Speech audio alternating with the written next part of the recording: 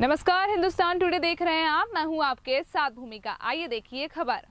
चिनौर क्षेत्र में आयदन किसानों द्वारा खुलेआम नरवाई में आग लगाई जा रही है, जबकि प्रशासन द्वारा नरवाई जलाने पर पूर्ण रूप से प्रतिबंध लगा दिया गया है। फिर भी किसान आग लगा रहे हैं और आग लगाकर अचानक आग लगने का बहाना देते हैं। स्थानीय प्रशासन नींद से नहीं जाग रहा, तेज हवा चलने पर आग विकराल रूप धारण कर लेती है और कई गरीबों के आशाने और भूसे के कूप और पशुओं का चारा तक जलकर राख कर देती है।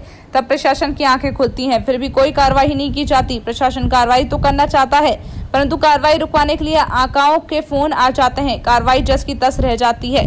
चिनोर से संवाददाता ज्ञान सिंह, मौर्य की रिपोर्ट।